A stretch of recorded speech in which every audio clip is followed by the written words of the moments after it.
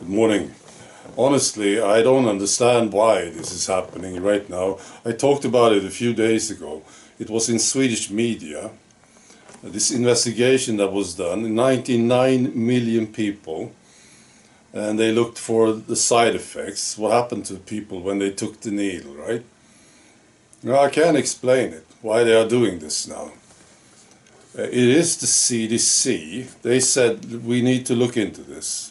CDC, United States. You know how they pushed the needle? It was ridiculous, right? This is safe. Everybody should take it. You know, it was brutal, wasn't it? So they now say we have to look into it. And they did.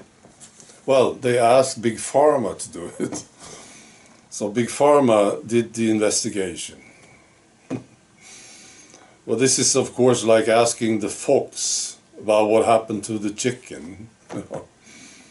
so we asked the fox, you expert fox, can you tell us what happened to these chicken? And the fox will say, well, these things happen. You know, sometimes these chicken fall over and their heads fall off.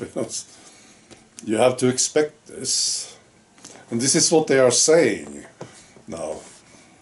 These experts, see, they control the discussion now. And I think this is maybe, I'm guessing, but this is why they are doing it.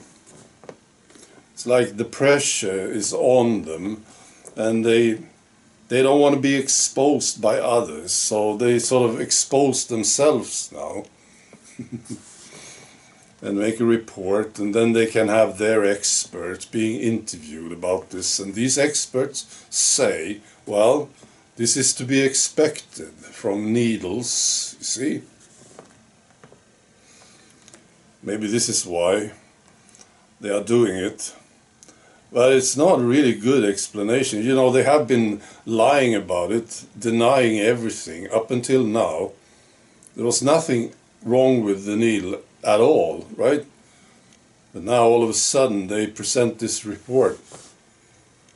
So uh, I don't know. Uh, I'm, I'm going to read you from the list of side effects. It's a long list. They looked at a few things, right? Uh, but it's uh, it's a big list anyway. So swelling of brain and spinal cord, from Moderna's first dose, it's a 3.78 times higher risk from Moderna's first dose. So this is how this works. Uh, blood clots, AstraZeneca 3.23, Guillain-Barré syndrome, terrible stuff.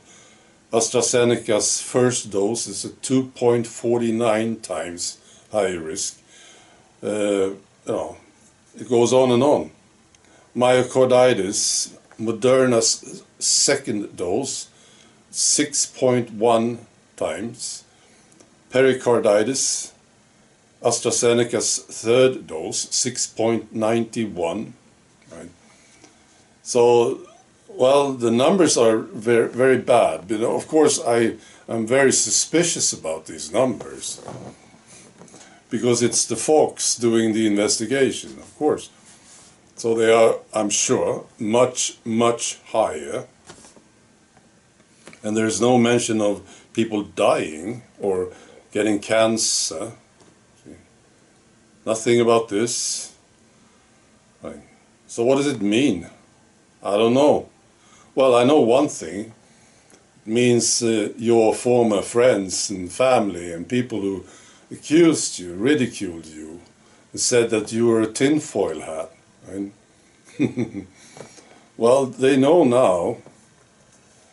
I would like to hear them say it now. You know, these idiots who called me names for warning about the needle. Go on, say it again, that I'm a tinfoil hat. Just say it. All right? That's what it means. I'm sure about this. I've been thinking about it now recently. I was wondering, now maybe now, exactly now, is the time when people are starting to understand that they were fooled. And I think it's true. It depends a lot on media. how much they write about it. As I said, they should be wild about this story, and these politicians they should come out, you know, and apologize, of course, and they should face the consequences. But I don't think this will happen. But uh, I'm hoping now that people will start to understand that this, this was all true. What what you said and what I said. Um, there's something seriously wrong with this needle. I think this is what it means. all right. Be good.